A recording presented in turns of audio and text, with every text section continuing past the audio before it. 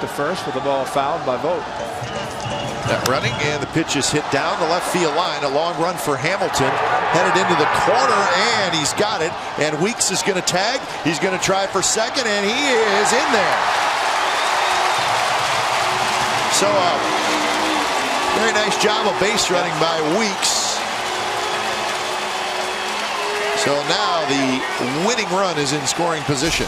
A deep ball deep enough to left field, and Jemile took off, but then realized that Hamilton was going to be catching the ball, and his momentum was going to take him into foul territory. And the fact that he had to stop, spin, throw, strong arm, accurate, but Jemile Weeks, tremendous speed. Boy, he almost went too far, but then to come back.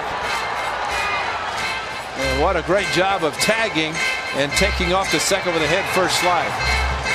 And boy, he hit Kendrick hard. That's with his with his helmet in his neck and